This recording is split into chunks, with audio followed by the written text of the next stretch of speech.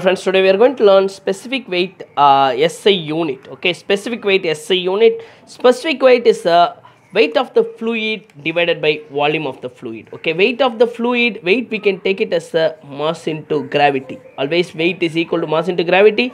Volume is the length into breadth into height. Mass mass SI unit is the kg. Acceleration due to gravity. SI unit is a meter by second square so it is a meter by second square. Length SI unit is a meter and breadth SI unit is a meter height SI unit is a meter okay? So meter meter get cancel. So meter meter get cancel okay? So second I am taken as a numerator so we'll get as a kg second minus 2 from denominator I am taken as a second as a numerator second minus 2 and meter meter I'll get as a meter square. So meter square also I am taking as a numerator okay?